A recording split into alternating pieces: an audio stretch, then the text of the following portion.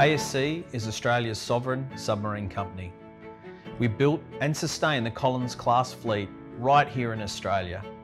Now, ASC has partnered with the Commonwealth to retain and grow the critical skills that Australia will need for our next generation of submarine and naval shipbuilding. The Sovereign Shipbuilding Talent Pool has been established to redeploy affected workers from the Attack Class submarine program and to assure Australia's skilled shipbuilding workforce is work ready for the nuclear powered submarine program. All affected workers have been given the opportunity to transition to new roles at ASC where they can work on current programs including the Collins class and get experiences and training to prepare them for what's next. Our main role as Australian industry team on the Attack Class program was to find, develop and enhance Australian businesses to be able to deliver products for the Australian Future Submarine program. Having been in defence now for over 30 years, obviously a whole bunch of relationships and friends have been built over that time and it's great to be able to maintain that friendship and continue to build those relationships in, a, in an ongoing program. There are huge opportunities for Australian suppliers to continue to contribute to the Collins Class Sustainment Program, as well as the Life of Type Extension Program and the upcoming Australian Submarine Program. AC held meetings with affected staff to understand the skills that they had developed and used on the Attack Class program. We then went through a thorough process of job matching to determine which positions at ASC would be the best fit for the former Attack Class workers. Um, ASC's transition was really good. It was really streamlined and they really had thought of the process of how to transition us as smoothly as possible. I think they were very transparent, they weren't holding anything back. So at Naval Group was part of the intellectual property team. SSTP allowed me to transition from the commercial team into the engineering team. They wanted to understand where my key skills lie and how I can best use it in the business. Actually seeing how the submarine is maintained and operated. It really puts design and actual implementation into practice.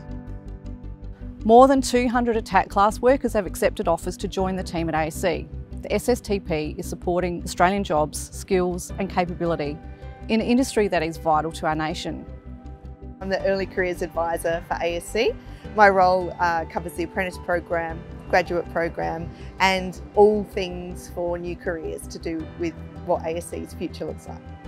I've seen a lot of the apprentices around the place and we've had a laugh and a chuckle about how they're working on submarines sooner than they might have expected. They're really enjoying that opportunity and, and getting to be around some experienced tradespeople as well.